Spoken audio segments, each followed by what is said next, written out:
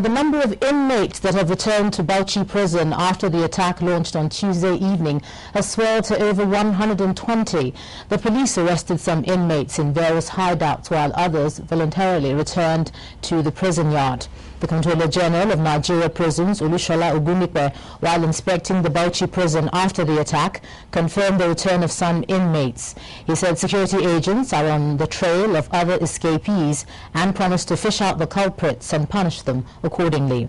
He said the few armed guards on duty were taken unawares and were overpowered by the attackers who gained entrance into the main prison yard after breaking the doors. Meanwhile, there are indications that the attackers may have warned some people about the impending attack.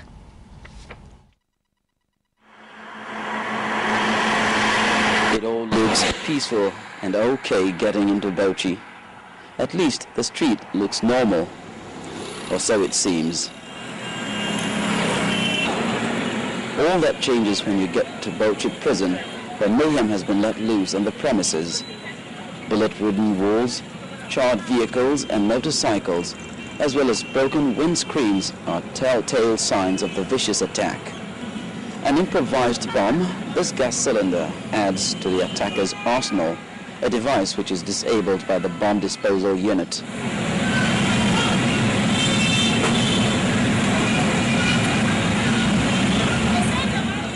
The police, prison officials and the military huddled together, taking inventory and discussing the incident. Interestingly, some civilians had prior knowledge of the impending siege. The Controller General of the prisons has the official angle.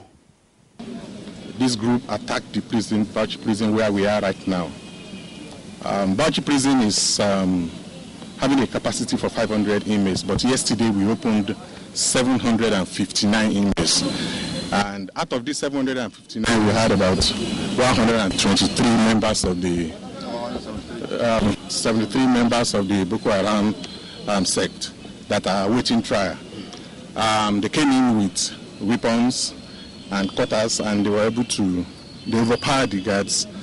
They broke into the cells. They freed um, members of their sect and other inmates. And apparently they used most of the inmates as shield to be able to get out of this place. Um, I want to say that 721 inmates were released out of the 759 that we had. Living just closer to the central mosque of Bauchi. So we used to take our normal prayer there every day, doing the Maghrib prayer. And everybody was happy because of the coming of the Eid al-Fitr celebration. And uh, so that people go and started purchasing their... So immediately after the prayer, that was around quarter to seven.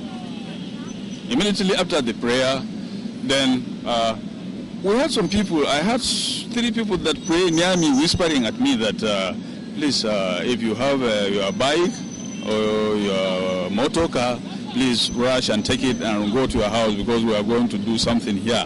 We came here to rescue our own people because we are not here for you. I said, ah, uh, it's okay. Then I came, I was standing, then these people, before they will finish up, they go out, we started hearing some gunfire.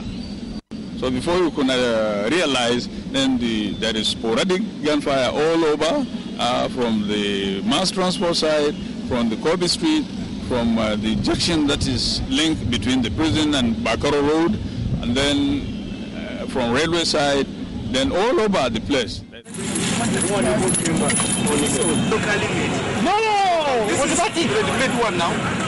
Yet more signs of how dangerously equipped the attackers were.